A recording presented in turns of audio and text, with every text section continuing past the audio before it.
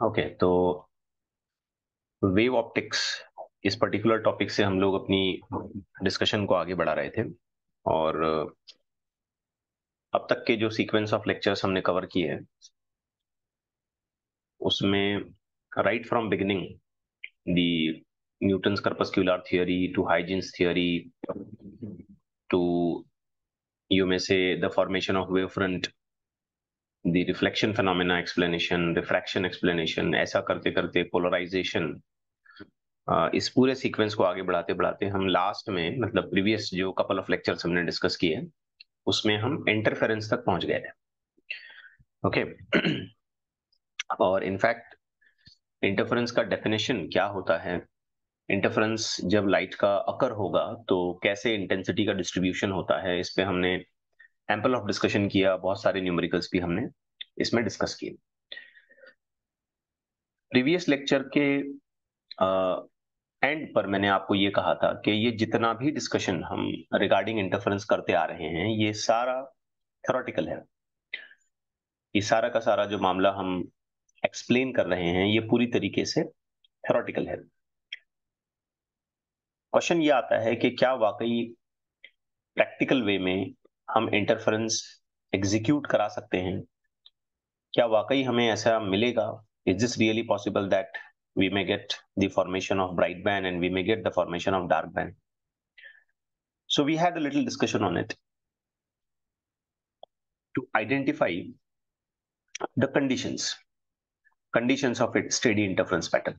इस पर भी हमने डिस्कशन किया है, लेकिन इस लेक्चर को मैं यहीं से शुरू करना चाह रहा हूँ। जस्ट एक रिवीजन के तौर पे ये सारी कंडीशंस मैं आपके सामने दोबारा पुटअप कर देता हूँ। हावेवर हमने प्रीवियस लेक्चर में इन सभी बातों पे डिस्कशन कर रखा है। तो वाकई प्रैक्टिकली अगर हम इंटरफ्रेंस एग्जीक्यूट कराना चाहते हैं प्रैक्टिकली हम ये चाहते हैं कि इंटरफ्रेंस हो और हमें कंस्ट्रक्टिव और डिस्ट्रक्टिव नेचर ऑफ़ इल्यूमिनेशन मिले, यानी कि ब्राइट और डार्क बैंड्स हमें मिले तो हमें कुछ स्ट्रिक्ट कंडीशंस को फुलफिल करना पड़ेगा। अगर हम ऐसा नहीं कर पाते हैं, इन कंडीशंस को अगर हम मीट नहीं करते हैं तो हम इंटरफेरेंस को कभी भी होता हुआ ऑब्ज़र्व नहीं कर सकते। What are those condition so we know very well the list of condition is given in front of you और प्रीवियस लेक्चर में हमने इस पर काफ़ी बात भी की थी। तो फिर भी हम यहीं से इसको कंटिन्यू करते हैं। The list of these condition is that कि जो दो सोर्सेस हैं the two sources which we are going to use for making the light to interfere they should be monochromatic. Now, monochromatic means uh, the color of uh, the two light waves should be same. Or you can also say that okay, it may have same single wavelength. Now, the second and the most important condition to have the interference pattern possible is that the two sources should be coherent. आपको पता होगा coherency के बारे में मैंने ये कहा कि ऐसे सोर्सेस जिनमें इनिशियली कोई फ़ेज़ डिफरेंस नहीं होता है। या अगर इनिशियल लेवल पे इनमें कोई फ़ेज़ डिफरेंस है तो वो फ़ेज़ डिफरेंस कांस्टेंट होता है फ्लक्चुएट नहीं करता है। In the beginning in the initial stage जैसे ही हमने लाइट के दोनों सोर्सेस को ऑन किया तो उसमें से निकलने वाली लाइट रे जैसे ही वो निकल रही है, या तो उसमें फ़ेज़ डिफरेंस ना हो, या अगर है तो कांस्टेंट हो। तो ऐसे सोर्स को हम कॉल करते हैं coherent now to form the interference pattern in an observable manner, in a steady manner we need the two sources to be coherent. We need the two sources to be equally bright we need the two sources to be narrow. We need the two sources to be close to each other. We need to keep the screen at a sufficiently large distance so can so so that we can observe the interference pattern. We need the light should be traveling from the two sources in the same direction and at last we need the two waves the two sources the light waves coming from the two sources should be equally polarized if somehow we manage to uh, get these conditions done, then surely we may find the interference is happening in front of our eyes. We may find it is practically executable. We may even find on the screen a bright and a dark band. अब आप देखें ये conditions को meet करना ये बहुत मुश्किल है इतना आसान नहीं है आमतौर पर जो लाइट के सोर्सेस हमारे पास होते हैं, उनमें ये सारी कंडीशंस ये सारी कैरेक्टरिस्टिक्स उनमें नहीं होती है। तो अगर ये कैरेक्टरिस्टिक्स नहीं है तो इवन दो लाइट की वेव्स एक दूसरे पे ओवरलैप होती होंगी, लेकिन उनसे ब्राइट और डार्क नेचर ऑफ़ इल्यूमिनेशन हमें बनता हुआ नज़र नहीं आएगा। क्योंकि वो अच्छी तरीके से स्ट्रिक्ट कंडीशंस को फॉलो करते हुए ओवरलैप नहीं हो रही है सुपर इम्पोज नहीं हो रही है। ठीक है? तो ये जितना भी डिस्कशन हमने इंटरफ्रेंस के रिलेशन में किया, इतनी बड़ी बड़ी इक्वेशन बनाई इंटेंसिटी का सारा कैलकुलेशन कर दिया पचास साठ क्वेश्चन पे हमने सॉल्व कर दिए। ये सारे के सारे मानो ऐसे हो गए जैसे सिर्फ़ जबानी जमा खर्च हो गया। खाली थियोरी पेपर पे लिखा आपने कि भाई ऐसा होना चाहिए, वैसा होना चाहिए, ये होना चाहिए, वो होना चाहिए, पर प्रैक्टिकली तो हो ही नहीं रहा है कुछ। प्रैक्टिकली जब करने की बारी आ रही है तो इतना कुछ हमें चाहिए। ठीक। इनफैक्ट प्रीवियस क्लास में मैंने आपको कुछ और डिस्कशन भी एक्स्ट्रा इसमें करवाया था कि अगर हमें कोहरेंट सोर्सेस चाहिए तो हम उसे कैसे ऑप्टेन कर सकते हैं। आपको याद होगा I told you that there is two possibilities to get the coherent sources number one either by dividing a wavefront और number two either by dividing an amplitude okay anyhow पूरे इस डिस्कशन uh, का outcome हमें ये मिल रहा है कि if any means by any way if we meet these conditions then and then only we can find the interference to happen otherwise ये बहुत मुश्किल हो जाएगा। सो so, ये काम पहली बार। Okay for the first time एक साइंटिस्ट है थॉमस यंग। इन्होंने प्रैक्टिकली करके हमें दिखाया। Okay okay, practically. उन्होंने हमें ये करके दिखाया कि लाइट इन प्रैक्टिकल इंटरफेयर हो सकती है और ना सिर्फ़ इंटरफेयर हो सकती है, बल्कि उससे हमें डार्क और ब्राइट बैंड्स बनते हुए बाकायदा नज़र आएँगे। तो यंग्स ने यही सारी रिक्वायरमेंट्स को फुलफिल किया। इसी तरीके की सारी रिक्वायरमेंट्स को उन्होंने फुलफिल किया। And he got the things done सारा मामला क्लियर हो गया फिर। अब क्वेश्चन आता है कि ये इन्होंने कैसे किया? किस तरीके से इन्होंने किया? सबसे पहले तो इसे हम कहते हैं Young's double slit experiment. We call this as Young's double slit experiment. ये स्लिट क्या होता है, पहले मैं इसे समझा दूँ। स्लिट कहते हैं बच्चों एकदम बारीक फाइन ओपनिंग को। बहुत बारीक, पतली सी ओपनिंग अगर है तो हम उसे स्लिट कहते हैं। एक सिंपल सा एग्जांपल मैं आपको देता हूँ। मान लो आपने एक ब्लैक कलर का पेपर ले लिया, पूरा ब्लैक कंप्लीटली ठीक है, मिलते हैं कलर्ड पेपर मिलते हैं, हम जानते हैं तो हमने ब्लैक कलर का एक पेपर ले लिया। अब उस ब्लैक कलर के पेपर पर हम क्या करते हैं, ब्लेड से एक कट लगाते हैं। ब्लेड से हल्का सा कट लगा दिया हमने, बिल्कुल। ब्लेड की थिकनेस के हिसाब से कट लगा दिया।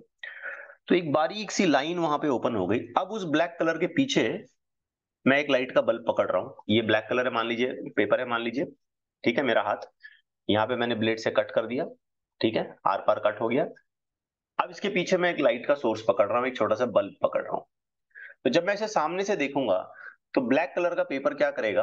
पूरी की पूरी लाइट को ब्लॉक करेगा। लेकिन आप देखोगे कि एक लाइन ऑफ़ लाइट ओपन हो गई है यहाँ पे।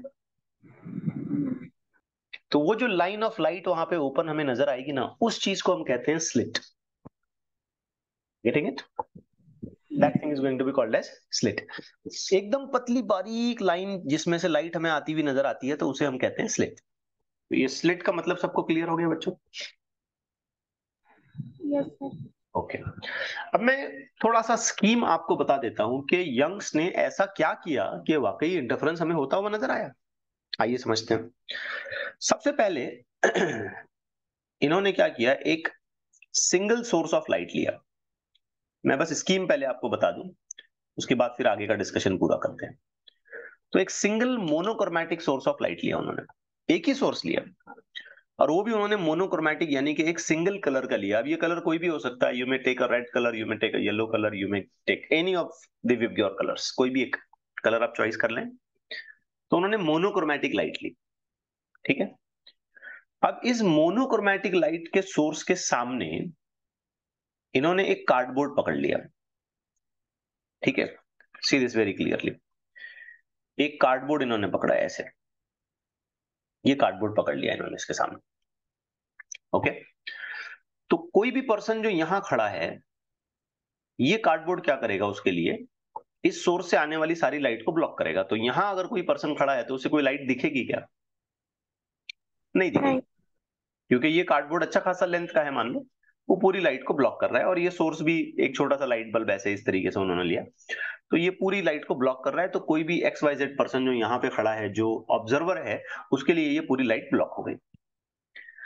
अब इन्होंने क्या किया, इस कार्डबोर्ड पर दो स्लिट्स को कट किया। आपको मैं बता चुका हूँ स्लिट का मतलब एकदम पतली सी ओपनिंग एकदम बारीक सी ओपनिंग को हम स्लिट कहते हैं। तो हमारे समझने के लिए मैं ये बता रहा हूँ कि इस कार्डबोर्ड पर दो ब्लेड से कट लगा दिए। दो कट ब्लेड से लगा दिए उन्होंने। तो लेट से कि एक कट जो है ना उन्होंने यहाँ लगाई फॉर एग्ज़ाम्पल इधर, और दूसरी जो कट है ना वो इधर लगाई। ये थोड़े से बड़े हो गए बट आपको समझाने के लिए एक इधर और ये दूसरा वाला जो है इधर। गेटिंग इट क्लियर हो गया बेटा बात? अब मानो यहाँ पे कोई ऑब्जर्वर खड़ा है on the other side of this cardboard तो उसको क्या ऐसे दो बारीक बारीक लाइंस ऑफ़ लाइट दिखेंगे? एक ये वाली और एक ये वाली। Yes. तो इस पर्सन को अगर पूछा जाए कि भाई कितनी जगह से लाइट तुमको आती हुई नज़र आ रही है तो वो बोलेगा दो जगहों से hmm. इस पर्सन के लिए जो इस साइड खड़ा है इस तरफ़ खड़ा है कार्डबोर्ड की दूसरी तरफ़ जहाँ सोर्स रखा है उसके अपोजिट साइड में वो बोलेगा कि यहाँ लाइट के दो अलग अलग सोर्सेस हैं सो लेट से कि इसमें के एक सोर्स जिसे हम नाम दे देते हैं एस वन और दूसरा सोर्स हम इसे नाम दे देते हैं एस टू अब जरा इनको एनालाइज करते हैं केयरफुली इनको एनालाइज करते हैं। तो बच्चों, इसमें से बहुत सारी वेवफ्रंट्स निकलेंगी। लेट से कि ये वेवफ्रंट ऐसी ऐसी ऐसी, निकलती गई निकलती गई और लास्टली फाइनली ये कार्डबोर्ड पे जाके टकरा गई। तो क्या इन ओपनिंग्स में से लाइट अब बाहर आने वाली है? यस? यस नो ये जो पॉइंट सोर्सेस हैं यहाँ पे, या स्लिट्स हैं, इनमें से लाइट अब बाहर आएगी। तो उसे दिखाने का तरीका ये होगा कि मैं यहाँ पे कुछ ऐसे वेव फ्रंट्स दिखा रहा हूँ। I am just trying my level best to draw symmetrically तो ऐसे बहुत सारे वेव यहाँ से निकले। इसमें से भी बहुत सारे वेव ऐसे यहाँ से निकले। अब आपने नोटिस किया कि ये सारे वेव आगे जाकर के क्या कर रहे हैं? ओवरलैप कर रहे हैं। They are overlapping each other और इसी ओवरलैपिंग को हम क्या नाम देते हैं? इंटरफेरेंस सुपरपोजिशन अब इस चीज़ को मॉनिटर करने के लिए, इसे देखने के लिए, बस मैं इसके सामने एक स्क्रीन रख देता हूँ।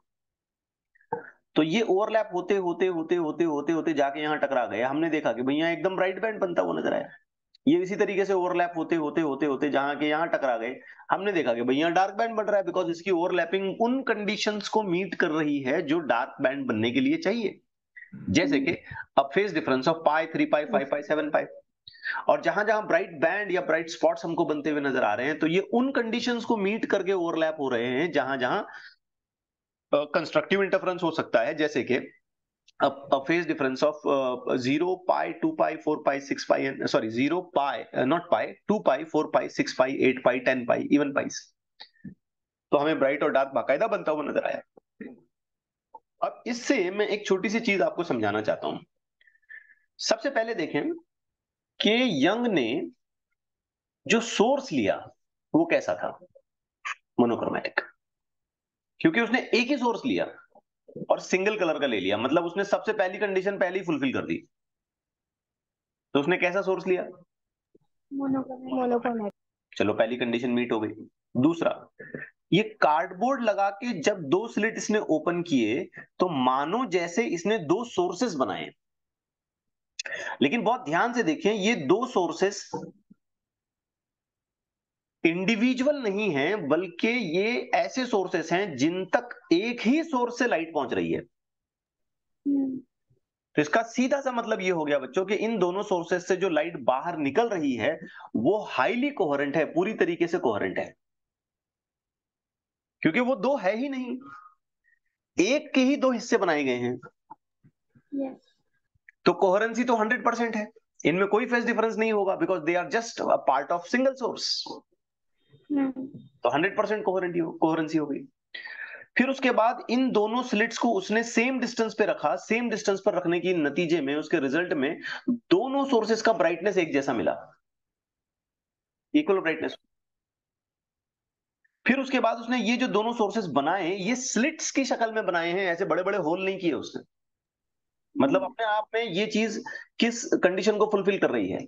The narrowness of the two sources दोनों सोर्सेस अपने आप में सीधे सीधे कैसे हो गए? नैरो फिर ये जो दो स्लिट्स उसने बनाए, ये ज़्यादा दूर दूर नहीं बनाए नज़दीक नज़दीक बना दिए। मतलब इन दोनों सोर्सेस को फिर एक बार क्लोज टू ईच अदर कर दिया गया। आप देख रहे हैं एक एक एक एक करके सारी कंडीशंस उसने फुलफिल कर दी और बड़ी आसानी से की। कोई बहुत बड़ा एक्सपेरिमेंटल सेटअप उसको बनाने की ज़रूरत नहीं है। कार्डबोर्ड और सिंपल से लाइट बल्ब के साथ काम चल रहा है।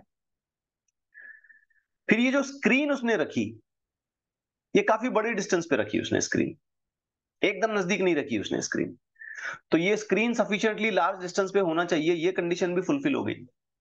अब इन दोनों सोर्सेज से जो लाइट निकल रही है, वो एक ही डायरेक्शन में आगे जा रही है मतलब same direction of travel of light ये कंडीशन भी फुलफिल हो गई। फर्दर मोर हम ऐसे भी सोच सकते हैं कि जो इनिशियल सोर्स उसने लिया, वो पोलराइज्ड ले लिया होगा। तो कंडीशन ऑफ़ पोलराइजेशन भी यहाँ पे फुलफिल हो जाती है। मींस इस लिस्ट में की सारी कंडीशन यंग्स ने पूरी कर दी। तो जारी बात है फिर हमको स्क्रीन पर ब्राइट और डार्क बैंड्स बनते हुए मिलना ही चाहिए। समझ आ रही है बच्चों बात? यस सर अब जो लाइट का सोर्स उसने यूज़ किया हो सकता है उसका वेवलेंथ लैम्बडा हो। जितनी दूर उसने स्क्रीन रखी हो सकता है उस डिस्टेंस को हम कैपिटल डी बोलें। और इन दोनों सोर्सेस के बीच में जो गैप है ये जो गैप है यहाँ दोनों सोर्सेस के बीच में ये सोर्स S1 और S2 के बीच में जो गैप है उस डिस्टेंस को हम स्मॉल डी बोल सकते हैं। तो यहाँ पर मैंने तीन अलग अलग टर्मिनोलॉजीज को डिस्क्राइब किया लैम्बडा कैपिटल डी और स्मॉल डी क्या आप मुझे बहुत जल्दी जल्दी बता सकते हैं कि लैम्बडा क्या है यहाँ पे? वेवलेंथ ऑफ़ लाइट है। कैपिटल डी क्या है यहाँ पे? डिस्टेंस सोर्स एंड स्क्रीन के बीच का डिस्टेंस क्योंकि अल्टीमेटली सोर्स इसी पोजीशन पर है अब। और फाइनली ये स्क्रीन यहाँ पर आ चुकी है तो इसका मतलब सोर्स और स्क्रीन के बीच के डिस्टेंस को हम क्या कॉल करेंगे? कैपिटल कैपिटल डी ठीक है ना? These terminologies are very important क्योंकि आगे आने वाले सारे न्यूमेरिकल अब इसी से रिलेट करेंगे। और what is small d in this case distance between two sources तो मैं क्विकली यहाँ पे रिपीट कर देता हूँ। Is the wavelength of light used capital D is the distance between source and screen and small d is the distance between two sources. इसमें कुछ और distances भी हमें मेजर करने हैं that we will be learning in a short interval of time. Anyhow, हम यहाँ पर क्लेम ये करेंगे कि यंग्स ने काम फतेह कर दिया। उसने इंटरफ्रेंस को बाकायदा प्रैक्टिकली करके दिखा दिया हमको। ठीक है? एग्जीक्यूटेबल तरीके से एक्सपेरिमेंटल लेवल पर। आप इस चीज़ को रियलाइज़ करने के लिए कुछ एनिमेशन देख सकते हैं, जैसे कि इस एनिमेशन को देखें। ये बिल्कुल उसी बात को दर्शाता है, दिखाता है, जो मैं अभी आपको समझा रहा था। एक सोर्स डिवाइड करके दो ओवरलैपिंग हो गई कुछ कुछ जगह पे डार्क बना कुछ कुछ जगह पे ब्राइट बना। You can also observe this animation इस एनिमेशन को भी आप देख सकते हैं। इसमें भी वही कहानी है, लेकिन ये पूरा डार्क और ब्राइट बनता हुआ नज़र नहीं आ रहा है। But somewhere you can see के सिंगल वेव फ्रंट्स आ रही हैं। ठीक है ना? सिंगल सोर्स के पास से वेव फ्रंट आ रही है, यहाँ पे और यहाँ पे डिवाइड हो जाती हैं एंड देन बाद में उनका ओवरलैपिंग होता है। ये भी एक बढ़िया एनिमेशन है। ओके एक और को आप देख सकते हैं। इसी तरीके के रेफरेंस को इस्तेमाल करते थे सेव व्यू करें। इसमें भी यही चीज़ दिखाई जा रही है। देखें। ये दो अलग अलग सोर्सेस हो गए यहाँ पे। बाद में ओवरलैपिंग हो गई है। कहीं कहीं डार्क बनता हुआ नज़र आया कहीं कहीं ब्राइट बनता हुआ नज़र आया। इसको मैं एक और जगह आपको यू में से एक्सपीरियंस करवा सकता हूँ। इसे ध्यान से देखें। ये बहुत रियलिस्टिक है। बहुत ही रियलिस्टिक है ये। ये जो बंदा बैठा हुआ है ना, ये क्या कर रहा है? दो बॉल्स लिए इसने और पानी पे ऐसे वाइब्रेट करा रहा है।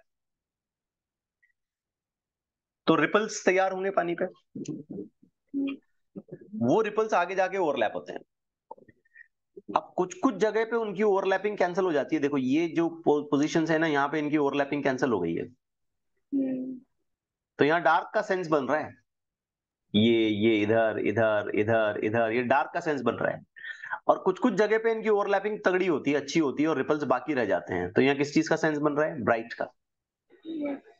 तो बस उसने एक काम एंड क्वाइट वाटर सरफेस पर रिपल्स को जनरेट किया, यूँ यूँ करके। वो रिपल्स आगे जाके ओवरलैप हो गए और ओवरलैप होने के बाद वो सारी रिक्वायरमेंट्स मीट कर गई जो कंस्ट्रक्टिव और डिस्ट्रक्टिव सिचुएशंस के लिए होती हैं इंटरफरेंस में।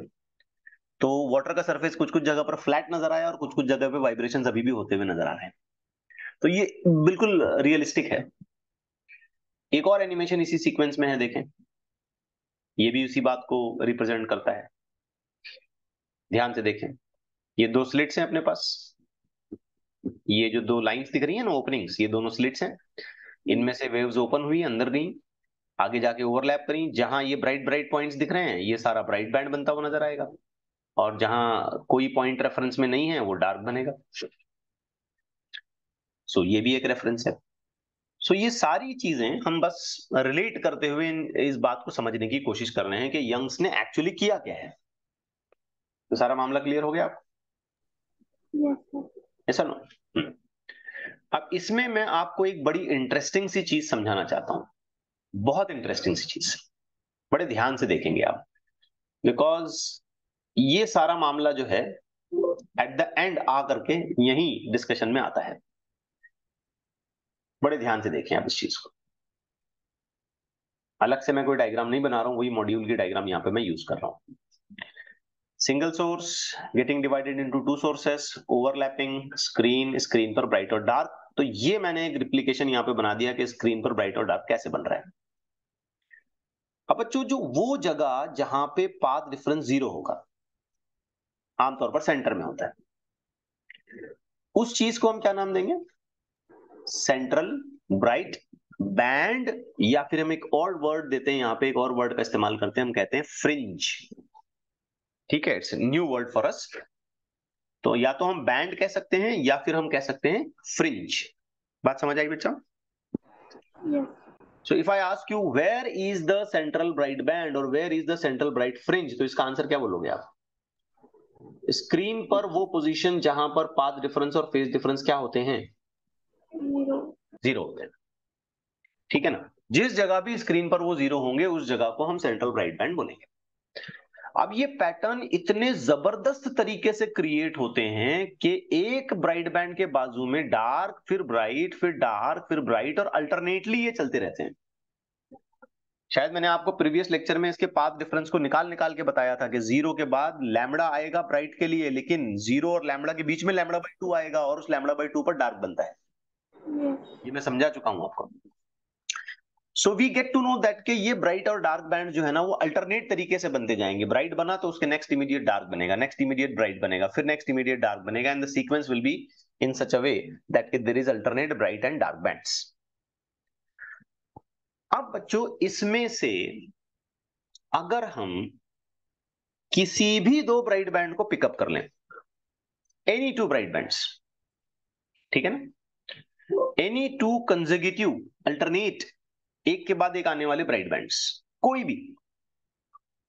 और उनके बीच के डिस्टेंस को मेजर करें। ठीक है ना? मतलब जैसे देखो, यहाँ एक ब्राइट है, यहाँ एक ब्राइट है, इन दोनों के बीच का डिस्टेंस में मेजर करता हूँ।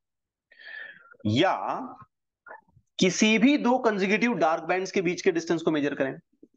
गौर से सुने मैं क्या कह रहा हूँ। कहाँ डिस्टेंस मेजर करना है हमें? या तो दो कंजिगेटिव ब्राइट बैंड एक के बाद एक आने वाले ब्राइट बैंड या फिर दो कंजिगेटिव डार्क बैंड और कहीं भी ऐसा ज़रूरी नहीं है कि it should be at the centre only कहीं भी एनीवेयर यहाँ फोर्थ और थर्ड डार्क में भी आप मेजर कर सकते हो। यहाँ फ़र्स्ट और सेकंड ब्राइट में भी आप मेजर कर सकते हो। बट शर्त यह है कि दोनों कंजिगेटिव ब्राइट और दोनों कंजिगेटिव डार्क होना चाहिए। अगर डार्क डार्क में ले रहे हो तो दोनों कंजिगेटिव डार्क होना चाहिए और ब्राइट ब्राइट में ले रहे हो तो दोनों कंजिगेटिव ब्राइट होना चाहिए। तो हम एक बहुत ही खूबसूरत सी चीज़ ऑब्ज़र्व करेंगे कि ये डिस्टेंस कांस्टेंट होता है। It is constant let's let's take an example कि मैं ट्वेंटी और ट्वेंटी ब्राइट बैंड के बीच का डिस्टेंस मेजर करता हूँ।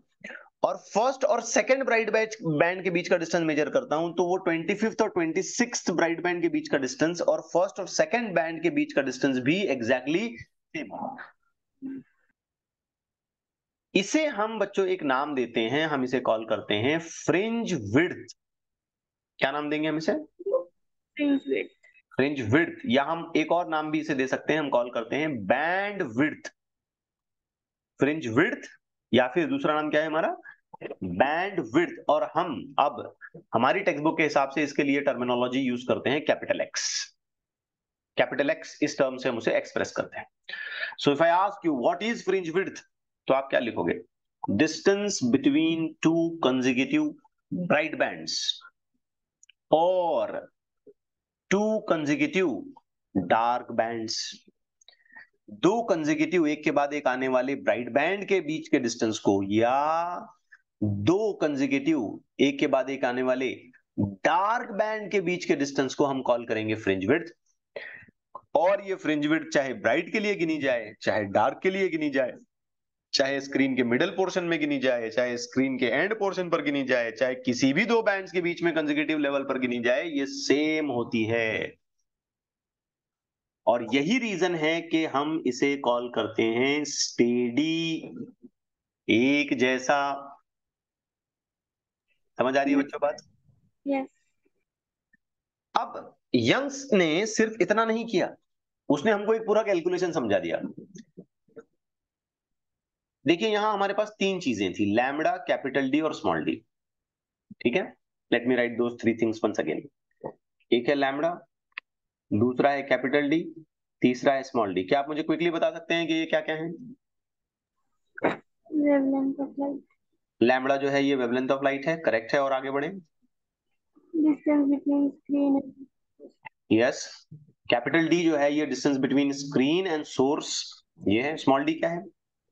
distance between two sources distance between two sources. एक चौथा एलिमेंट यहाँ पे ऐड हो गया कैपिटल एक्स। क्या आप कह सकते हैं what is capital X distance between consecutive bright band or dark.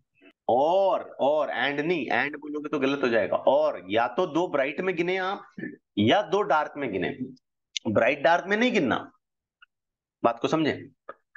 ठीक है ना? Distance between two consecutive bright band और distance between two consecutive dark band Young's ने इन सभी चीज़ों को रिलेट करके एक फॉर्मूला बनाया. मैं इसे ऐसे पढ़ता हूँ. Capital X is equal to lambda capital D divided by small D. एक बार मन में रीड करो, क्या है ये? Capital X is equal to lambda capital D divided by small D को fringe is equal to wavelength multiplied by distance between screen and source, and the whole thing divided by distance between two sources. एक और बार मन में पढ़े। Capital X is equal to lambda capital D divided by small D. बहुत काम का formula है। हालाँकि, फ़िलहाल हम इसका प्रूफ नहीं जानते हैं। ठीक है, आगे लेक्चर में वही चीज़ हमको करना है, इसका प्रूफ बनाना है। हम बाकायदा इसका प्रूफ बनाएँगे। And that will be a long derivation interesting होगा। तो ये है यंग्स एक्सपेरिमेंट की स्कीम और उसके रिजल्ट्स ठीक है? यंग्स एक्सपेरिमेंट के दो बड़े इंपॉर्टेंट पॉइंट्स हैं, उसके दो बड़े मेरिट्स हैं। पहला मेरिट उसका ये है कि ये हिस्टोरिकली पहला एक्सपेरिमेंट है फ़र्स्ट एक्सपेरिमेंट है इन इट्स इन हिस्ट्री जिसने इंटरफेरेंस को होता हुआ करके दिखाया। ठीक? प्रैक्टिकली इंटरफेरेंस की पॉसिबिलिटी जिसने हमारे सामने प्रूफ की तो ये फ़र्स्ट एक्सपेरिमेंट है। ये पहली मेरिट है उसका। दूसरी मेरिट ये है कि हम वेवलेंथ ऑफ़ लाइट निकाल सकते हैं। कैसे देखो? अगर हम इंटरफेरेंस करवा दें तो स्क्रीन पर ब्राइट और डार्क हमको दिखेगा? बोलो हाँ। दिखेगा नहीं दिखेगा? स्क्रीन पर दिखेगा नहीं दिखेगा? दिखेगा। दिखेगा। तो क्या हम ये कैपिटल एक्स मेजर कर सकते हैं स्क्रीन पर?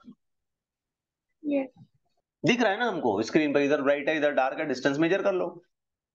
तो कैपिटल एक्स हम मेजर कर सकते हैं। कैपिटल डी सोर्स और स्क्रीन के बीच का डिस्टेंस क्या हम ये भी डायरेक्टली मेजर कर सकते हैं एक्सपेरिमेंट में? Small D distance between two sources क्या हम ये भी डायरेक्टली मेजर कर सकते हैं एक्सपेरिमेंट में? Yes. तो बचा क्या?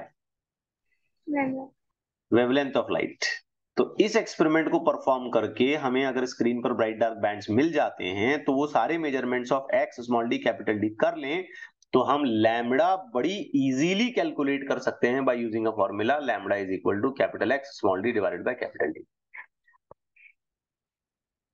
ठीक हो गई बात? Yes sir. So this is one of the merit of Young's experiment के कोई अननोन वेवलेंथ अगर हमारे पास है तो हम एक्सपेरिमेंट के थ्रू उस वेवलेंथ को फाइंड आउट कर सकते हैं। ओके क्लियर हो गई बात? Yes. अब एग्जामिनेशन में इससे रिलेटेड एक और आर्टिकल पूछा जाता है। Before I prove this derivation मैं एक छोटा सा आर्टिकल और यहाँ पे एडिशनली पहले आपको समझाना चाहता हूँ। वो है कि शेप ऑफ़ इंटरफ्रेंस फ्रिंजेस कैसा बनेगा? इसमें हमको ज़्यादा दिमाग नहीं चलाना, कुछ चीज़ें बस याद रखनी है। इसकी ज़्यादा मैथमेटिक्स में हम लोग नहीं जाएँगे। ठीक है, थोड़ा सा मैं एक रफ आइडिया आपको दे दूँगा। That will be sufficient enough बस चीज़ों को लेकिन आप याद रखें, क्योंकि इससे रिलेटेड क्वेश्चन एग्जामिनेशन में पूछे गए हैं। हम ये बोल तो रहे हैं कि हमें स्क्रीन पर ब्राइट और डार्क बैंड्स मिलेंगे, लेकिन उनका शेप कैसा रहेगा? आप जैसे यहाँ देखें। ये जो शेप आपको यहाँ दिख रहा है, ये स्ट्रेट बैंड्स की शक्ल में दिख रहा है। ऐसे खड़े खड़े लाइन दिख रहे हैं ना आपको। हाँ। तो क्या हर बार ऐसे खड़े खड़े लाइन ही मिलेंगे? या कुछ कर्व्स मिलेंगे? या कुछ सर्कल्स मिलेंगे? क्या मिलेगा हमको? शेप्स कैसे होंगे उसके ठीक है ना? और कौन सी कंडीशंस पर कैसे शेप आएँगे? तो हमको ये थोड़ा बहुत याद रखना है। तो मैंने इसकी पूरी कैटेगराइजेशन कर दी है। आइए एक एक करके ये सारी शेप्स मैं आपके सामने रखता हूँ। नंबर वन है हाइपरबोलिक शेप ये उस वक्त बनेगा बच्चों, जब हम पॉइंट सोर्सेस लेंगे। Point sources. ऐसा स्लिट की तरह लंबे कटे हुए सोर्सेस नहीं लेंगे, ऐसे सुराख लेंगे, पॉइंट। मतलब कार्डबोर्ड के अंदर ना आपने खाली एक सुराख कर देना है। आपने एक छोटा सा पिन होल बना देना है। उसमें से लाइट को बाहर निकालना है। आ रही बच्चों बात समझ में यस ये देखो, हमने यहाँ पे कार्डबोर्ड पे क्या बनाया था? यहाँ पे क्या बनाया? ऐसे स्लिट्स बनाए थे ना? दिख रहे हैं ऐसे लाइंस बनाए थे ना ओपनिंग के? ऐसे खड़े लाइंस बना दिए थे ना? एग्ज़ाम्पल याद है पेपर पे ब्लेड से कट लगाया?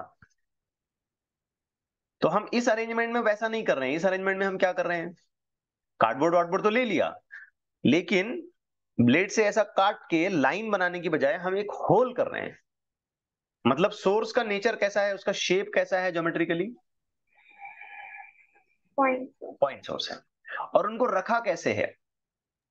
एक लाइन में रखा है आगे पीछे नहीं किया। ठीक है? If we perform an Young's experiment by this arrangement with this arrangement तो हमें स्क्रीन पर जो बैंड्स मिलने वाले हैं, जो फ्रिंजेस हमें स्क्रीन पर मिलने वाले हैं, वैसे स्ट्रेट स्ट्रिप्स नहीं मिलेंगे, बल्कि वो हाइपरबोलिक मिलेंगे, ये ऐसे। अब इसका ज्योमेट्रिकल रीजन बताया जा सकता है कि ऐसा क्यों वगैरह वगैरह बट मैं उतने डिटेल में जा ही नहीं रहा हूँ। मैं बस ये कहूँगा कि शेप और कंडीशन आप याद रखें। ऐसा सोर्स और ऐसी तरीके से रखे तो ऐसे बैंड मिलते हैं। ठीक है? इसकी ज्योमेट्री में मैं नहीं जाना चाहता फ़िलहाल। बात समझ आ रही है आपको? Yes. तो ये पहला पॉइंट हुआ। दूसरा पॉइंट अगर हम पॉइंट सोर्स ही लें ठीक है ना? वो ध्यान से देखना। हम लेते हैं पॉइंट सोर्स लेकिन उन पॉइंट सोर्स को हम एक लाइन में ऊपर नीचे नहीं रखते हैं आगे पीछे रखते हैं। ये दोनों सोर्सेस को रखा और यहाँ स्क्रीन रखी समझ आ गई बच्चों बात? Yes. हम्म। अब देखो यहाँ थोड़ा सा मैं आपको एक्सप्लेनेशन दे देता हूँ। ये सोर्स S1 से लाइट ऐसे निकलेगी थोड़ी सीधी जाएगी फिर थोड़ा ऐसे ऊपर की तरफ़ जाएगी साथ साथ नीचे की तरफ़ भी जाएगी। है ना? Hmm. और सोर्स S2 से भी जस्ट दूसरे कलर से मैं इसलिए ले रहा हूँ थोड़ा सा आपको फ़र्क समझ में आया इसलिए। लाइट ऐसे जाएगी फिर ये ऐसे फिर ये ऐसे है ना? है ना? Yes. अब वीडियो में देखो। देखो ये पॉइंट सोर्स से लाइट निकली ये ऐसी फैलती हुई। Hmm. पीछे वाले पॉइंट सोर्स से भी ऐसे फैलती हुई लाइट निकली। Hmm. तो ऐसा स्फीयर मिला सॉरी सर्कल मिला स्क्रीन पर आगे और पीछे। सर्कल बनता हुआ नज़र आया? सर्कल? Yes. तो स्क्रीन पर जो बैंड बनेगा उसका शेप कैसा होगा देखो कैसा बना. कॉन्सेंट्रिक सर्कल्स लॉजिकली गेस करो जरा मैं ज्योमेट्री में थोड़ा सा हल्का सा हिंट दे रहा हूँ आपको बहुत ज़्यादा ज्योमेट्री में नहीं जा रहा हूँ उसके। देखो वीडियो में देखो ये ऐसे। सर्कल ही बनेगा ना ये. ये पीछे से भी ऐसे आई ओवरलैप हुई। अब वो ओवरलैपिंग अगर पाथ डिफरेंस ऑफ़ ब्राइट के लिए कंस्ट्रक्टिव के लिए मीट करती है तो वो सर्कल ब्राइट बनेगा। और अगर ये overlapping path difference of dark के लिए है तो वो जो सर्कल बनेगा, वो डार्क बनेगा. अब इसमें दो ऑप्शंस होते हैं बच्चों। सेंटर ऑफ़ द सर्कल का क्या होगा? सोचो, अगर सेंटर ऑफ़ द सर्कल पे मैं बात करता हूँ यहाँ पे तो दोनों में पार्ट डिफरेंस कितना होगा? समझ आ रही है बात आपको? दोनों में पार्ट डिफरेंस होगा इन दोनों सोर्सेस के बीच का गैप क्योंकि S1 से जो लाइट निकल रही है वो इतनी दूर ट्रेवल कर रही है और S2 से जो लाइट निकल रही है वो इतनी दूर ट्रेवल कर रही है. दोनों का एक्स्ट्रा पाथ जो यही है ना इन दोनों के बीच का गैप हाँ.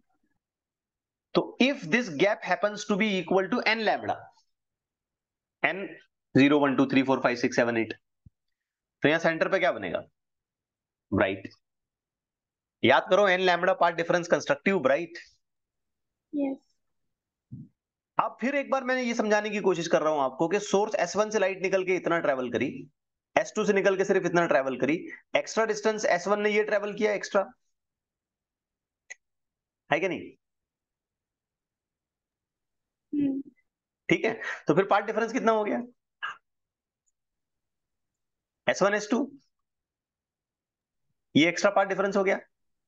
हम्म सोचो बेटा S1 से निकलने वाली लाइट पता नहीं आप कन्विंस हो रहे हैं या नहीं हो रहे हैं ये इतना ट्रेवल कर रही है। S2 से निकलने वाली लाइट ये इतना ट्रेवल कर रही है। तो दोनों में एक्स्ट्रा पाथ कितना हुआ?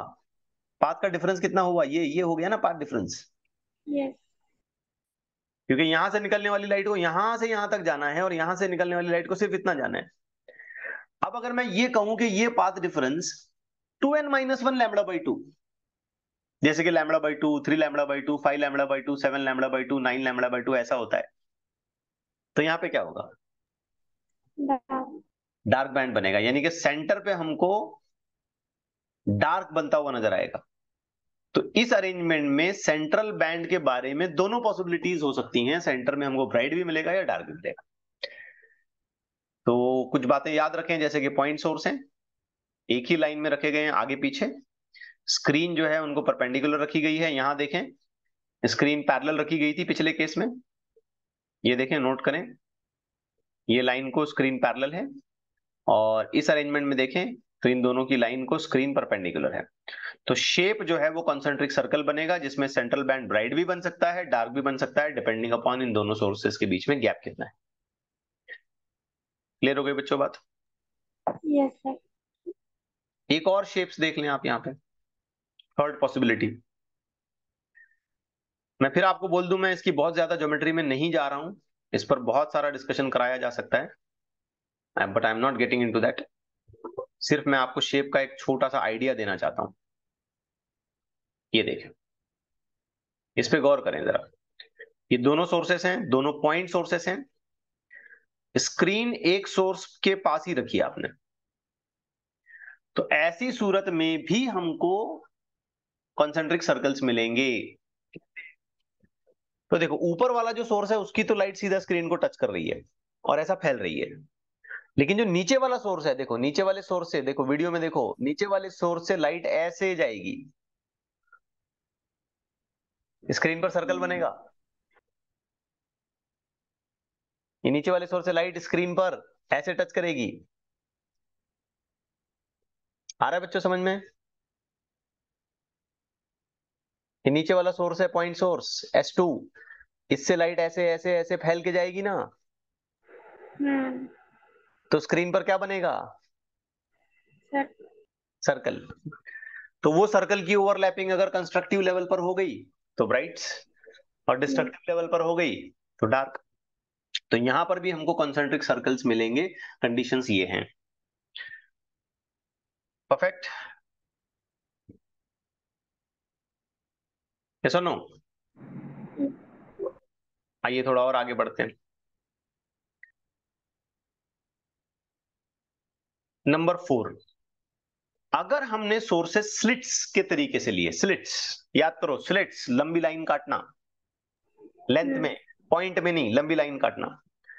तब हमको स्ट्रेट बैंड्स मिलेंगे स्ट्रिप्स मिलेंगे सीधे सीधे वही अगर यहाँ पॉइंट होते तो हमको हाइपरबोलिक ऐसे कर्व मिलते हाइपरबोलिक नेचर के। ठीक हो गई बात? तो इन चीज़ों को याद रखें।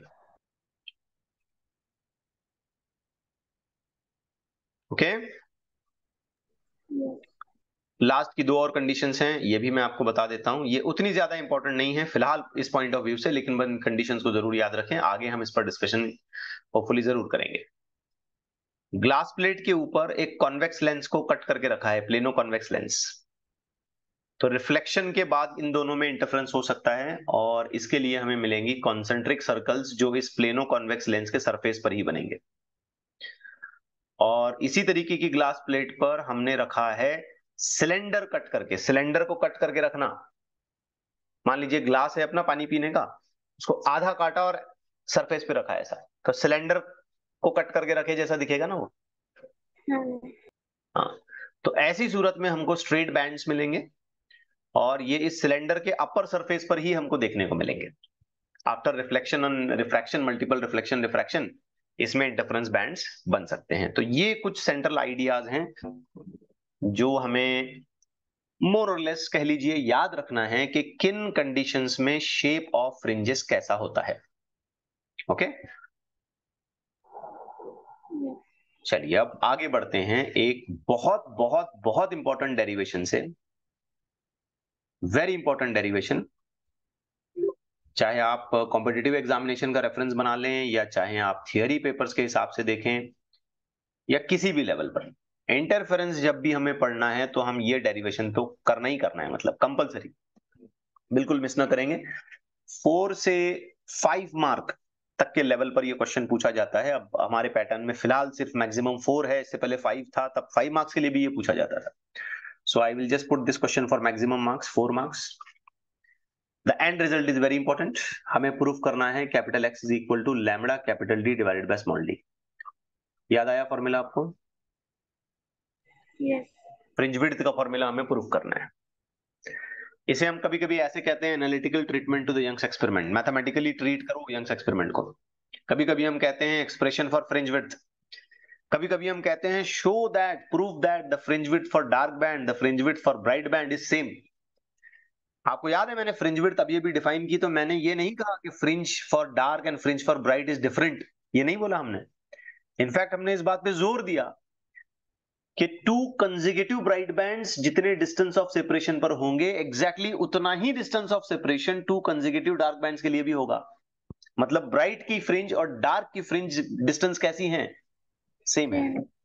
तो हमें ये प्रूफ करना है। अगले 15 से 20 मिनट में मैं ये आपको पूरा मामला समझा दूँगा और मैं कोशिश करूँगा और आप भी इसे कंसंट्रेशन से सुने और कोशिश करें कि ये याद हो जाए आपको अभी पढ़ते हुए ही। तो आइए शुरू करते हैं। सबसे पहले हम इसमें दो सोर्सेस लेंगे।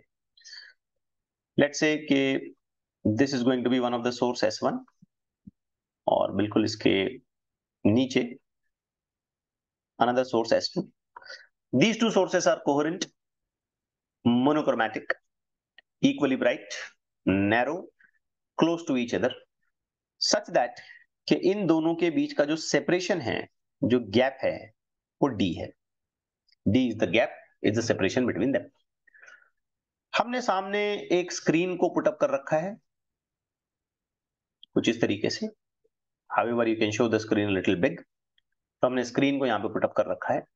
सच दैट कि अगर आप सोर्स और स्क्रीन के बीच का डिस्टेंस देखना चाहते हो तो ये डिस्टेंस कैपिटल डी है। Are things clear in fact इन दोनों सोर्सेस के लिए बिल्कुल मिडिल में, बिल्कुल सेंटर में, यानी कि यहाँ, एक पॉइंट ओ लोकेट किया जाता है। ऑब्वियस बात है बच्चों, ये अगर मैं ज़ीरो पार्ट डिफरेंस वाले सोर्सेस लेता हूँ और बिल्कुल सेंटर ऑफ़ द स्क्रीन पर कंसिडर करता हूँ तो ये ज़ीरो नंबर का ब्राइट बैंड बनेगा। क्यों? क्योंकि यहाँ पर पाथ डिफरेंस कितना होगा? ज़ीरो होगा। लेट मी जस्ट मार्क किया कि यहाँ पर पार्ट डिफरेंस ज़ीरो है और ये क्या है? जीरोथ ब्राइट बैंड याद रखिए सेंट्रल ब्राइट बैंड यानी कि ज़ीरो नंबर का ब्राइट बैंड हम उस जगह लोकेट कराते हैं जहाँ पर पार्ट डिफरेंस कितना होता है? कितना होता है पार्ट डिफरेंस ज़ीरो होता है। ठीक है ना? तो वो उसकी आइडेंटिटी है कि ज़ीरो नंबर का ब्राइट बैंड उस जगह बना जाएगा उस जगह माना जाएगा जहाँ पे पार्ट डिफरेंस ज़ीरो है। अब एक रैंडम पॉइंट कहीं हम कंसिडर करते हैं स्क्रीन पर, थोड़ा सा मैं इसे और बड़ा कर देता हूँ। लेट्स से एक रैंडम पॉइंट स्क्रीन पर हम यहाँ कंसिडर करते हैं पॉइंट पी और पॉइंट पी का डिस्क्रिप्शन ये है बच्चों कि सेंट्रल ब्राइट बैंड से वो स्मॉल एक्स इतने डिस्टेंस पर है। ठीक है? सेंट्रल ब्राइट बैंड से कितनी दूर? स्मॉल एक्स याद रहे कि इस पी पॉइंट को हमने कहाँ से कैसे गिना? हमने इसे कहाँ से आइडेंटिफाई किया?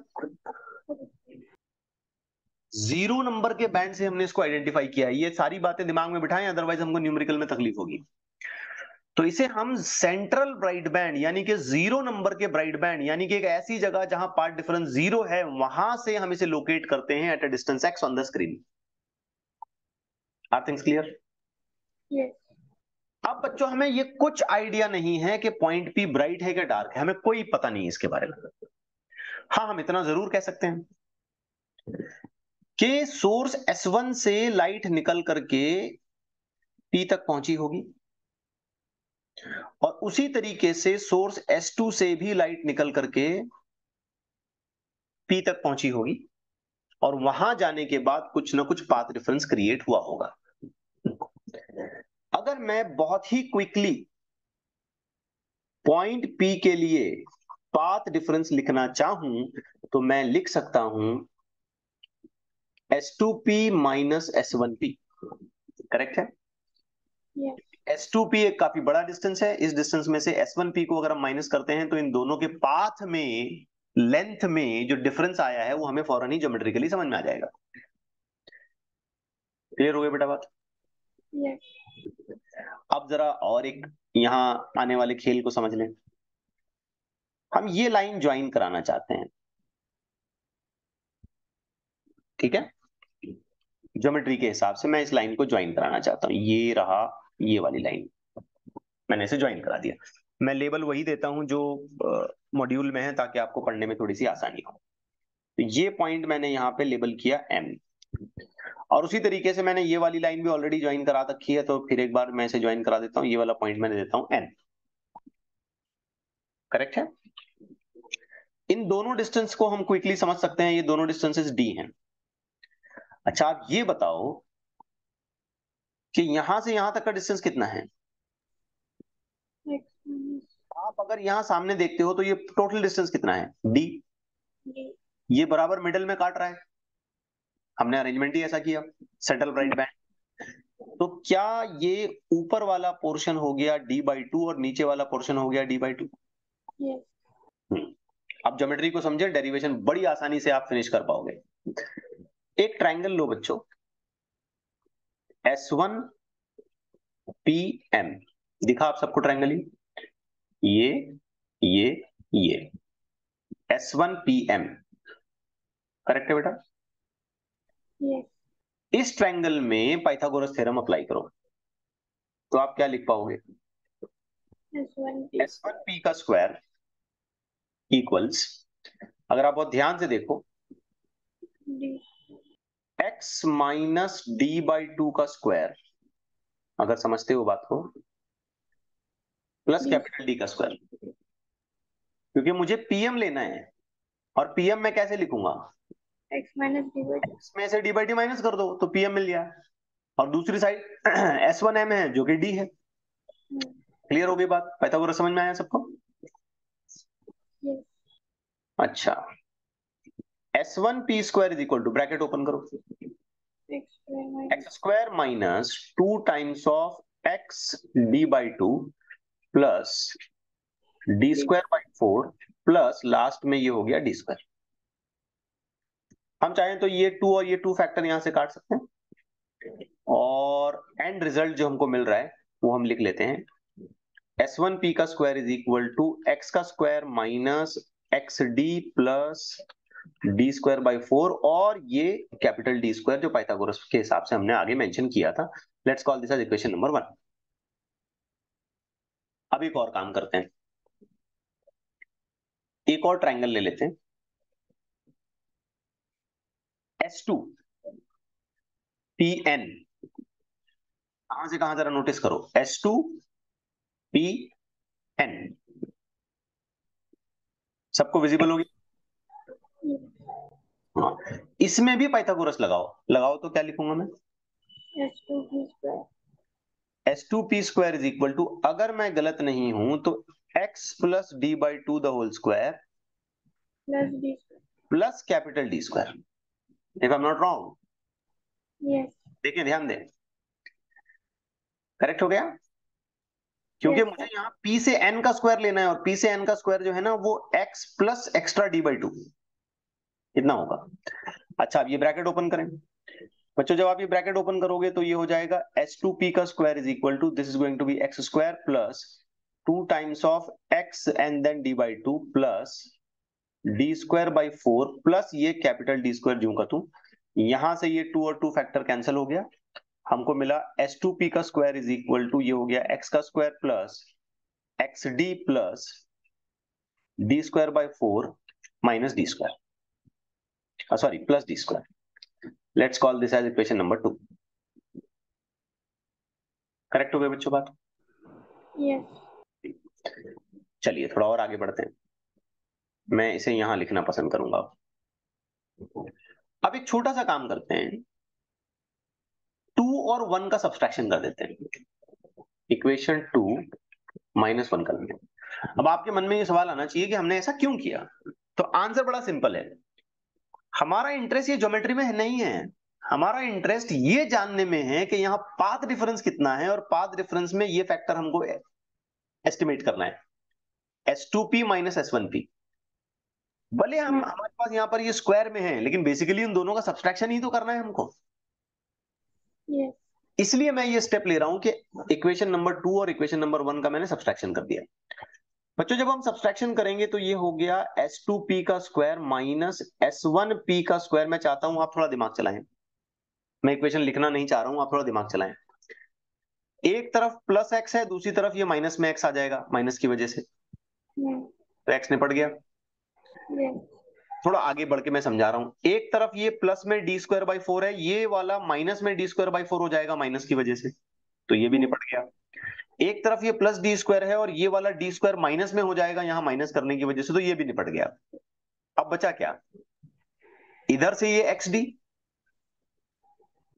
ये सुनो इधर का एक्स डी और इधर का एक्स डी क्या कहते हो? इन दोनों एक्स डी का क्या होगा? एडिशन एडिशन होगा शाबाश।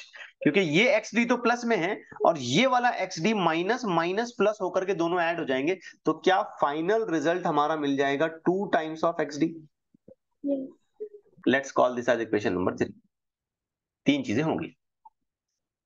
अब इसमें थोड़ा आगे काम करते हैं। ये यहाँ तक मैंने इसकी ज्योमेट्री कंसिडर कर ली। ये हमारी पहली स्टेप हो गई मान लो। मैं इसको बाइफरगेट कर रहा हूँ। ये सारा काम करके हमने हमारी पहली स्टेप पूरी कर ली। स्टेप नंबर वन ठीक है?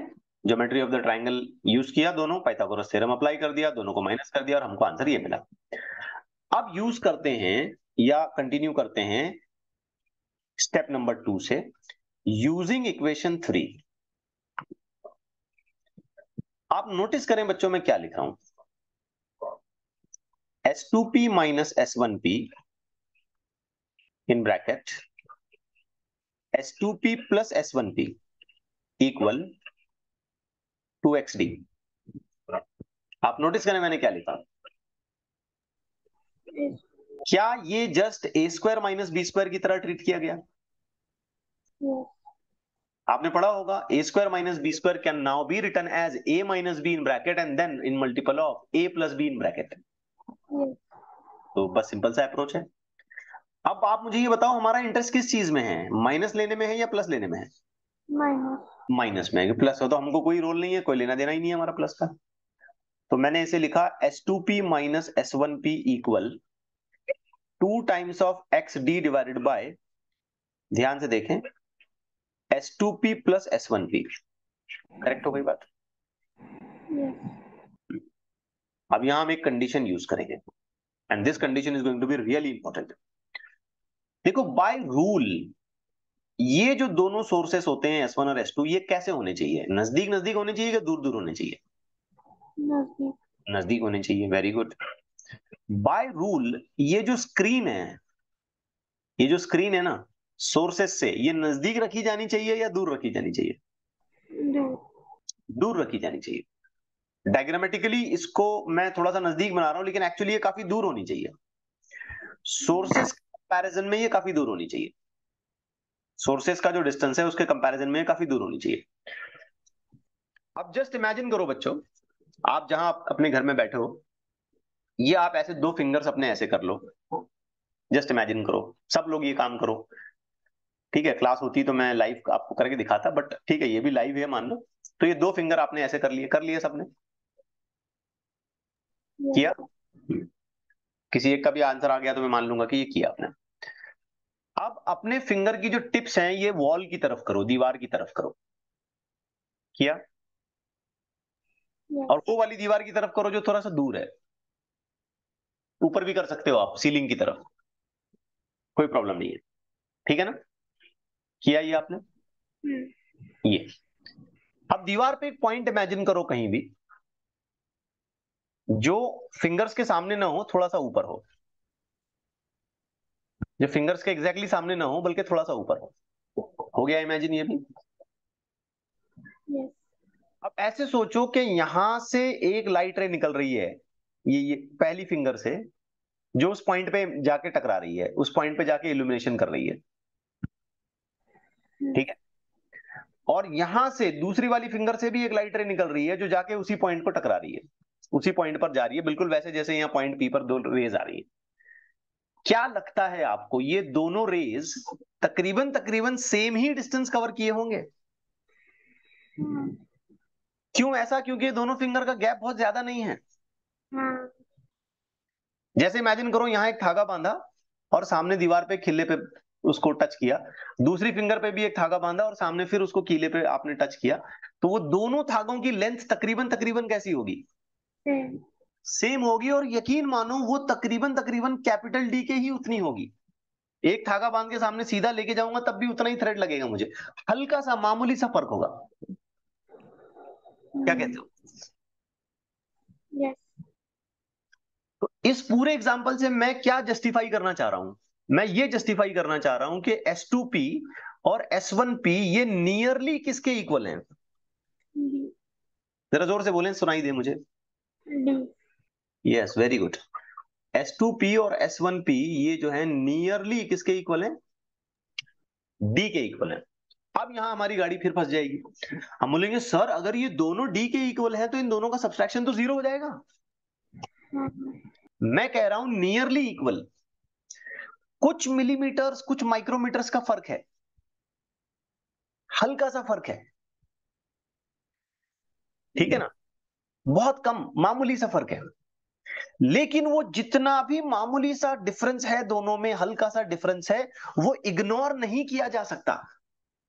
ऐड करते टाइम पे छोड़ देंगे हम। लेकिन सब्सट्रैक्ट करते टाइम पर हम इग्नोर नहीं करेंगे, क्योंकि वही डिफरेंस जो है, वो पाथ डिफरेंस बनने वाला है। तो जब हम ऐड करेंगे दोनों को तो दोनों की जगह पे हम क्या लिखेंगे? देंगे दोनों की जगह पे। लेकिन जब हम सब्सट्रैक्ट करेंगे तो उसको हम डी डी माइनस करके ज़ीरो नहीं करेंगे क्योंकि even though this difference is very small but that is meaningful because that difference is going to be converted into path difference और वो पाथ डिफरेंस फिर तय करेगा इफेक्टिवली कि वहाँ पे ब्राइट बैंड बनना है या डार्क बैंड बनना है। Yes. इसको समझाने के लिए एक छोटी सी मिसाल देता हूँ। आप सुनार की दुकान में जाते हैं। ठीक है ना, सोने की दुकान में, गहनों की दुकान में। अगर वज़न करते वक्त मामूली सा डिफरेंस आया, सोने को वज़न करते वक्त मामूली सा डिफरेंस आ गया गोल्ड लेते वक्त तो क्या आप उस मामूली से डिफरेंस को इग्नोर करेंगे? पूरे पैसे दे देंगे। टेन ग्राम्स की बजाय like nine point five gram आ गया। तो आप बोलेंगे, ठीक है, चलो टेन ग्राम रहने दो। या सामने वाला जो सुना रहे वो बोल देगा, ठीक है, जाने दो, चलो 9.5 की वजह 9 पकड़ लो। ऐसा करेगा वो। नहीं नहीं करेगा क्योंकि वो छोटा सा डिफरेंस भी कीमती है। वैल्यूएबल है वो। इसी तरीके से ये छोटा सा डिफरेंस भी वैल्यूएबल है। कीमती है क्योंकि इसी से तय होना है कि बैंड ब्राइट बनेगा या डार्क बनेगा। बात क्लियर हो रही है. फिर इसको रिपीट कर दूँ जब हम ऐड करेंगे तो इन दोनों की जगह पे हम क्या लिखेंगे? डी लेकिन जब हम सब्सट्रैक्ट करेंगे तो दोनों की जगह पे हम डी नहीं लिखेंगे। तो आप सोचें समझे और बताएँ फाइनल आंसर क्या होगा? S two P minus S one P को जू का तू छोड़ देंगे। ये हो गया two X small D divided by D plus D क्या कहते हो बेटा? Yes. अच्छा डी प्लस डी कितना हो गया? टू डी यानी कि टू को कट करने के बाद आंसर आया एक्स डी बाई डी अब जो रिज़ल्ट हमें मिल रहा है वो बहुत इंपॉर्टेंट है। P minus S one P very good और ये आंसर हमें क्या मिला? एक्स डी बाय डी तो स्क्रीन पर लोकेटेड किसी भी आर्बिट्री पॉइंट का पाथ डिफरेंस कितना है, हम इससे निकाल सकते हैं. हमको खाली तीन चीज़ें चाहिए। स्मॉल डी कैपिटल डी और एक्स आप सोचो स्मॉल डी क्या है? तो दोनों सोर्सेस के बीच का डिस्टेंस है। कैपिटल डी क्या है? सोर्स और स्क्रीन के बीच का डिस्टेंस है। Now a new term small X क्या है? क्या है स्मॉल एक्स सेंट्रल बैंड से कंसर्न पॉइंट तक कितना डिस्टेंस है? तो सेंट्रल बैंड से कंसर्न पॉइंट तक सेंट्रल बैंड से रिस्पेक्टिव पॉइंट तक जितना भी सेपरेशन आ रहा है, उसके हिसाब से हम पार्ट डिफरेंस आइडेंटिफाई कर सकते हैं। क्या कहते हैं बच्चों? और ये फॉर्मूला इंटरमीडिएट है, अभी फाइनल रिज़ल्ट आया नहीं है, लेकिन ये बहुत इंपॉर्टेंट है क्योंकि कुछ टिपिकल न्यूमेरिकल्स में हम पार्ट डिफरेंस ऐसे एस्टिमेट करेंगे। मस्ट रिमेंबर फॉर्मूला है ये।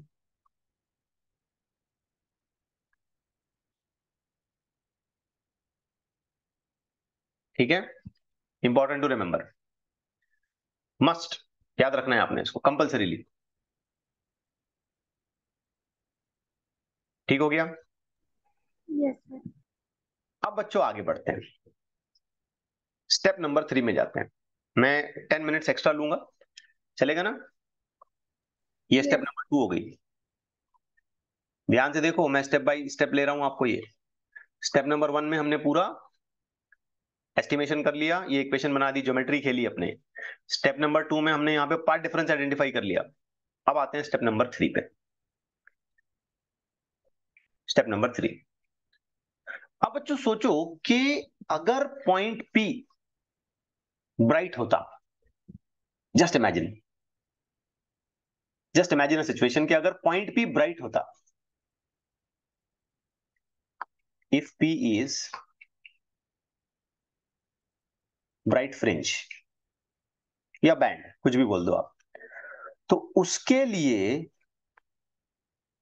पार्ट डिफरेंस की कौन सी कंडीशन मुझे लिखनी पड़ती? N lambda N lambda very good तो यहाँ पे मैंने पार्ट डिफरेंस कैसे बनाया? X small D divided by capital D is equal to क्या लिखना चाहिए? एन लैमडा करेक्ट हो गई बात?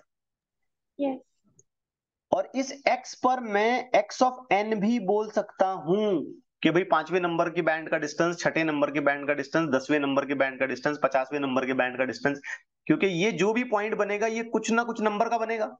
दसवें नंबर के बैंड का डिस्टेंस तो x ऑफ़ टेन पचासवें नंबर के बैंड का डिस्टेंस तो x ऑफ़ फिफ्टी समझ रहे हो बेटा? Yes अच्छा अब इसी स्टेप में बताओ कि if P is dark fringe dark band अगर P होता तो सोच समझ के बताओ कि उस सिचुएशन में पार्ट डिफरेंस क्या होनी चाहिए? Two n minus one lambda by two M minus one lambda by two मैं जानबूझ के एन की बजाय एम लिख रहा हूँ ताकि हमको नंबर काउंटिंग करते वक्त प्रॉब्लम ना हो। एन हो या एम हो वो एक नंबर है। सही है हम्म। बेटा? तो हमको प्रॉब्लम ना हो। अब मैं बोलूँ फ़र्स्ट डार्क फ़र्स्ट ब्राइट तो थोड़ा कंफ्यूजन होगा। एक नंबर मतलब किसका भाई? ब्राइट का क्या डार्क का? तो हम थोड़ा सा नंबर में कंफ्यूज हो सकते हैं इसलिए मैंने एन वाले नंबर्स दे दिए ब्राइट के लिए और एम वाले नंबर दे दिए मैंने डार्क के लिए ताकि थोड़ा बाइफर्गेशन हो। तो अब बताओ पार्ट डिफरेंस का जनरल फॉर्मूला क्या है? X of M D capital D equal क्या लिखना चाहिए? Two M minus one lambda by two अब आखिरी स्टेप पर आ रहे हैं बेटा। ये हमने पार्ट डिफरेंस के हिसाब से पी के इल्यूमिनेशन पर डिस्कशन किया कि पी कैसा हो सकता है ब्राइट हो सकता है डार्क हो सकता है। थोड़ा सा पेशेंस रखें मैं दस मिनट और लूँगा। थोड़ा सा पेशेंस रखें। सॉरी फॉर दैट थोड़ा लेक्चर एक्सटेंड हो रहा है बट इसे कंप्लीट करना ज़रूरी है। लास्ट स्टेप है स्टेप नंबर फोर हम यहाँ एस्टिमेट करने जा रहे हैं फाइनल इसमें फ्रिंज विड्थ अब फ्रिंज विड्थ हम कैसा एस्टिमेट करेंगे बहुत ध्यान से सुनो। बहुत ध्यान से सुनो। सोचो बच्चों के ये बैंड का पैटर्न बन गया। ठीक है ना? ये बैंड का कुछ ऐसा पैटर्न बना। ये इस तरीके का कोई पैटर्न यहाँ पे बैंड का बन गया। ठीक है ना? ये ज़ीरो नंबर का बैंड है। फिर मैं ऐसा काउंटिंग करते करते करते करते करते कितने नंबर के बैंड पे पहुँचा? एन तो यहाँ से लेके यहाँ तक का जो डिस्टेंस में मेजर करूँगा मैं उसको क्या बोलूँगा?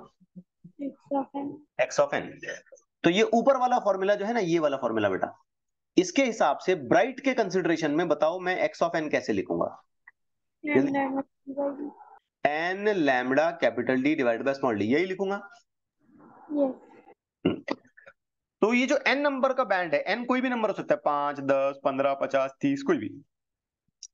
उससे जस्ट एक अगला बैंड आप ले लो कंजिगेटिव नेक्स्ट अल्टरनेट नेक्स्ट पाँच है तो छठा दस है तो ग्यारहवा पचास है तो फिफ्टी वन जस्ट अगला बैंड ले लो। तो काउंटिंग में हुआ एन के बाद क्या आने वाला है? तो इसी फॉर्मूले के हिसाब से सोच समझ के बताओ कि x of n plus one में क्या लिखूं? सोच समझ के बताओ। N plus one lambda D by बहुत अच्छे बेटा शाबाश। n plus one lambda capital D divide by small D क्योंकि लैमडा डी और स्मॉल डी तो नहीं बदल रहे हैं वो तो वही है। खाली गिनती बदलेगी नंबर बदलेगा काउंट बदलेगा। अब मैं आपसे ये पूछता हूँ कि अगर हमने ये डिस्टेंस x ऑफ़ n वाला इसमें से x ऑफ़ n को सब्सट्रैक्ट किया और ये ऑप्टेन किया तो ये क्या है? What is this fringe length fringe width शाबाश। क्योंकि ये डिस्टेंस दो कंजिगेटिव ब्राइट बैंड के बीच का डिस्टेंस है। समझ आएगी बेटा बात? Yes. तो मैथमेटिकली अगर मैं x निकालना चाहता हूँ तो क्या मुझे ऐसा करना पड़ेगा? सोचो बेटा। वैल्यूज़ को पुटअप करो। जो भी इक्वेशन हमने बनाई उसको पुटअप करो।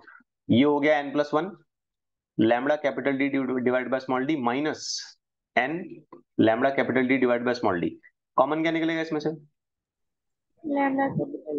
Okay. क्या बचा इधर? एन प्लस ठीक है इधर एन बचा ना? ठीक हो गई बात? क्या plus N minus N cut गया? तो एक्स का फाइनल आंसर क्या आया? Lambda D by D. ठीक है ना? इसको ऐसा कभी मत रीड करो लैमडा डी बाई डी। इसको हमेशा ऐसा रीड करो। Lambda capital D divide by small D D by D में बाद में अपन चक्कर में आ जाते हैं कि ऊपर कौन सा डी था? स्मॉल था क्या कैपिटल था? Lambda capital D divide by small D हो गई फ्रिंज विड्थ थोड़ी देर पहले हमने यंग्स एक्सपेरिमेंट से यही बात तो निकाली थी। ये फ्रिंज विड्थ मैंने किसके लिए निकाली? कौन से बैंड्स के लिए निकाली?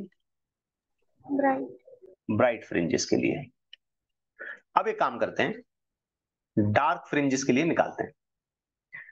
सिमिलर सिचुएशन मैंने कंसिडर करनी है एग्जैक्टली exactly सिमिलर सिर्फ़ फ़र्क इतना है कि फॉर्मूला डार्क के लिए लिखना है। तो ये पहले मैं फ्रिंज नोट कर रहा हूँ यहाँ पे।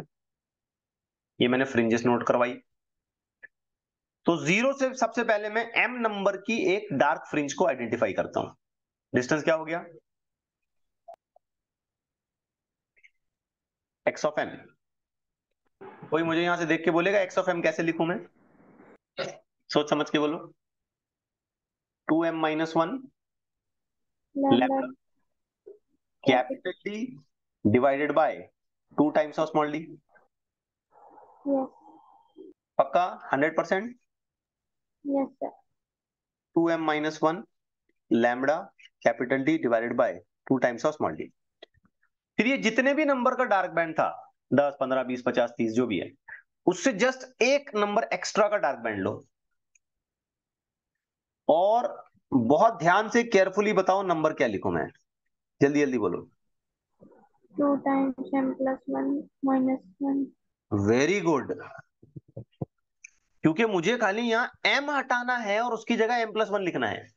मान लो m फाइव है तो फाइव हटा के सिक्स सेवन हटा के एट टेन हटा के इलेवन फिफ्टीन हटा के सिक्सटीन तो खाली m हटा के m प्लस वन बाकी सब तो जैसा वैसे।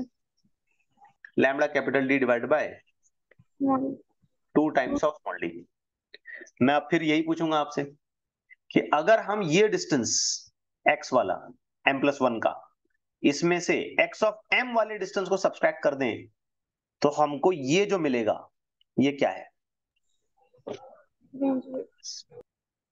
क्या है ये? फ्रिंज विड्थ ये भी फ्रिंज विड्थ है क्योंकि ये दो कंजिक्यूटिव डार्क बैंड्स के बीच का डिस्टेंस है। तो टेक्निकली x का मतलब क्या हुआ? X x of m plus one में से x ऑफ़ m को माइनस करना। चले करें। m प्लस वन मैं सीधे सीधे पहले कुछ चीज़ें कॉमन ले लेता हूँ। Lambda capital D divide by two times of small D common आएगा? Lambda capital D divide by two times of small D common आ गया। Two times of M plus one bracket close minus one minus two times of M plus one ये bracket close clear हो गया बेटा बात?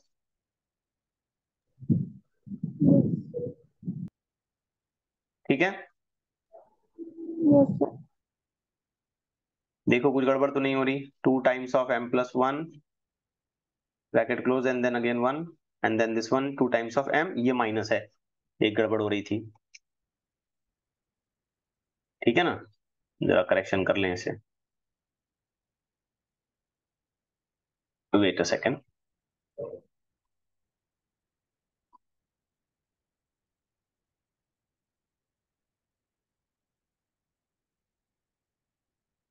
Correction कर लेते हैं पहले। ये स्क्रीन ब्लॉक हो रही है मेरी। आपको दिखाई दे रहा है पूरा? यस ओके एनीवे चलें पहले करेक्शन कर लेते हैं। तो ये चीज़ हटानी है ना मुझे? ये चीज़ हटा के यहाँ क्या लिखना है? माइनस अब आइए इसको सॉल्व करते हैं। तो थोड़ा सा स्पेस नहीं है मेरे पास मैं कोशिश करता हूँ वैसे ही एडजस्ट करके लिखने की। Lambda capital D divided by two times of small D अब ये हो गया two M plus two minus one minus two M plus one. Correct हो गया? ऐसा नो? सही है ना ये? समझ आ रहा है सबको देखो मैंने ये टू अंदर मल्टीप्लाई कर दिया। टू एम प्लस टू ये माइनस वन ये माइनस टू एम ये minus minus plus one. Correct हो गया? Yes plus two M minus two M cancel हो गया। प्लस वन माइनस वन भी कैंसिल हो गया। The only thing remain is what this two तो ब्रैकेट में खाली अब ये खाली टू बचा। तो ये ब्रैकेट के अंदर का टू और ये बाहर का डिनोमिनेटर वाला टू ये भी कैंसिल आउट हो गया। तो लास्टली एक्स क्या बना? Capital D by small D divide by small D और ये हमारे लिए गुड न्यूज़ है। क्योंकि ये फ्रिंज विड्थ जो हमने डार्क के लिए निकाली और डार्क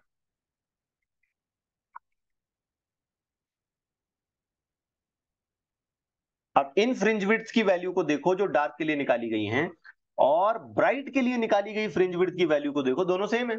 एक्सप्रेशन को देखो तो। What what is going to be concluding remark here कि fringe width for bright band and fringe width for dark band are same equal ऐसा नहीं होगा कि ब्राइट जरा बड़े बड़े बनेंगे और डार्क जरा छोटे छोटे बनेंगे, ऐसा नहीं होगा। जो विड्थ ब्राइट्स के लिए, ब्राइट बैंड्स के लिए मिलेगी, वही विड्थ डार्क बैंड्स के लिए मिलेगी, चाहे आप फ्रिंज विड्थ ब्राइट के रेफरेंस में गिने या डार्क के रेफरेंस में गिने, ये एग्जैक्टली सेम होगा। तो ये है पूरा एनालिटिकल ट्रीटमेंट यंग्स एक्सपेरिमेंट का, जिसमें हमने फ्रिंज विड्थ के लिए इक्वेशन बनाया। द मोस्ट इंपॉर्टेंट थिंग हमने पाथ डिफरेंस के लिए एक इक्वेशन बना दी एंड सो ऑन तो मैंने इस पूरे बड़े डेरिवेशन को चार स्टेप्स में डिवाइड कर दिया। पहले ज्योमेट्री के साथ आप पूरा कैलकुलेशन करें, फिर पार्ट डिफरेंस निकाल लें, फिर ब्राइट और डार्क की कंडीशन को जस्टिफाई करेंगे पॉइंट पी ब्राइट भी हो सकता है अगर ये फुलफिल हो गया और डार्क भी हो सकता है अगर ये फुलफिल हुआ तो। फिर उसके बाद आप फ्रिंज विड्थ निकालें और ये समझ आया आपको हम फ्रिंज विड्थ निकाल कैसे रहे हैं। कोई भी एक रैंडम बैंड को आइडेंटिफाई करते हैं, उसका डिस्टेंस गिने, उससे जस्ट नेक्स्ट बैंड का डिस्टेंस गिने और इन दोनों डिस्टेंस को सब्सट्रैक्ट करके बीच का गैप निकालें। फिर चाहे आप उसे ब्राइट के लिए करें या डार्क के लिए करें। तो बच्चों क्लियर हो गया सब कुछ ये? आई थिंक काफ़ी देर हो गई यहाँ पे हम रुक जाते हैं फिर।